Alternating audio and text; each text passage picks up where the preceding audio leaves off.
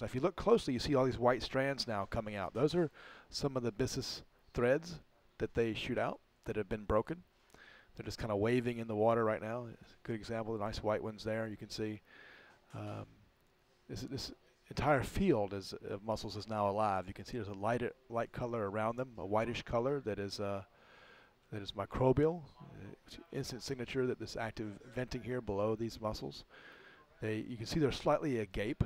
Um, that just means they have their siphons open and they're taking in oxygen and they're getting likely hydrogen sulfide or something like that. Now, Ed, is that okay to fire the plunger? Heads buried? Yeah, I say that's uh, yeah, that's, that's a go. good. That's good. Fire when ready. Fire when ready. And we should see the chamber expanding. Yeah, it's Yep. filling up.